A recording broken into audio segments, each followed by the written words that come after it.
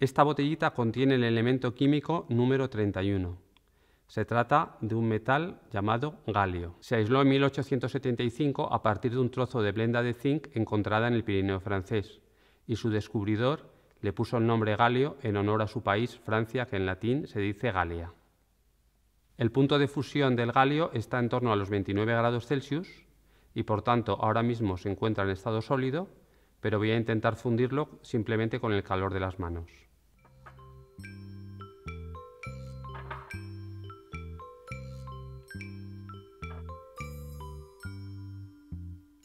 Puesto que le cuesta bastante calentarse con el calor de la mano, voy a ponerlo en agua templada en baño maría. Bien, una vez que tenemos ya un poco caliente el agua, vamos a colocar la botellita con galio dentro del agua.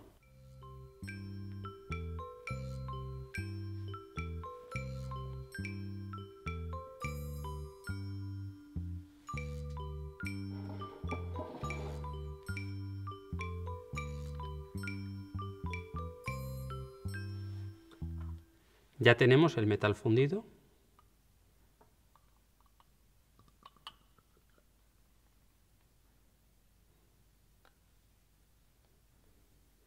Y aquí tenemos el galio. Aparentemente podríamos pensar que es mercurio, pero el galio es muchísimo menos tóxico que el mercurio.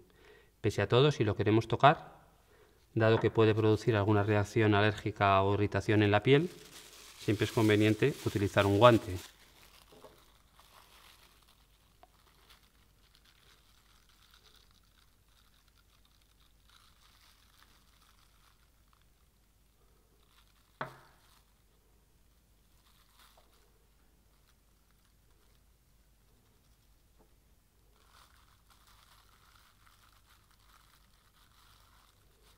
Y ahora vamos a hacer un experimento poniendo un poco de galio encima de una lata de aluminio.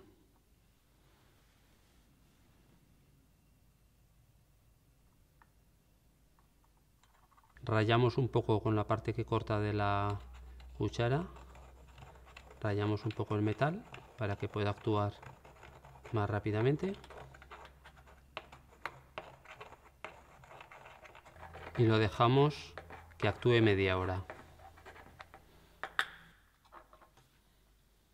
El galio ahora se ha disuelto en el aluminio en parte, formando una amalgama, de manera que la estructura del aluminio se debilita.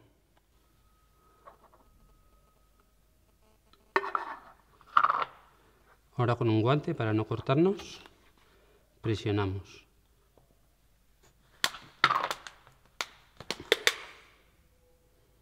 Y vemos cómo se ha debilitado nuestra lata de aluminio. De hecho, esto es una amalgama de aluminio y galio. Si metemos estas escamas de amalgama de aluminio con galio en agua, observamos cómo se desprenden burbujas. Se trata de hidrógeno. Esto no ocurre normalmente con el aluminio, puesto que el aluminio se oxida de forma natural, de forma que se recubre con una capa de óxido de aluminio que protege el interior del metal. Observad cómo permanece en estado líquido aun estando por debajo de su punto de fusión. Esto se conoce como sobrefusión o superenfriamiento, fenómeno del que hablaremos en otro episodio.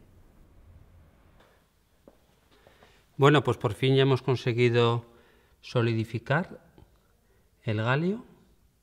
Mirad esta escama. Aquí tenemos ya un trozo, aunque da un poquitín líquido.